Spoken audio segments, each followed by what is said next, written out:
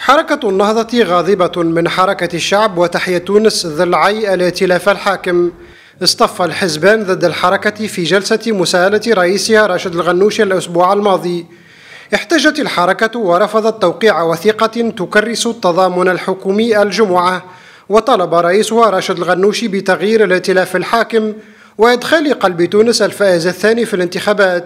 جلسة 3 جوان أكدت التصدع داخل الائتلاف الحاكم والعلاقات غير الودية لبعض الأطراف خاصة مع حركة النهضة منها حركة الشعب وتحيا تونس وأكدت الحاجة إلى أن نعالج هذا الأمر بتفاهمات أكثر وضوح وبتعزيز الحزام الحكومي بإدخال قلب تونس الحزب الثاني.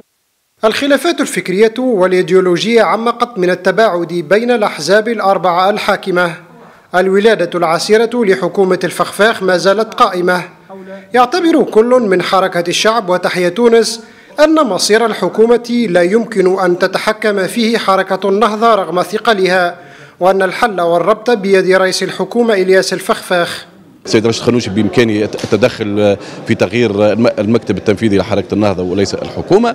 إضافة إلى أن دعوة توسيع الائتلاف الحكومي من طرف حركة النهضة موجودة قبل جلسة 3 جوان وليس بعدها وهذه موقف واضح آه، ونحن باقون في هذه الحكومة لن نغادرها. الأغلبية العددية ما نجمش نتجاوزوها توا لا اليوم لا غدوة لا بعد غدوة. حتى هو التحالف اللي يطرح فيه البديل هو نفس الشيء.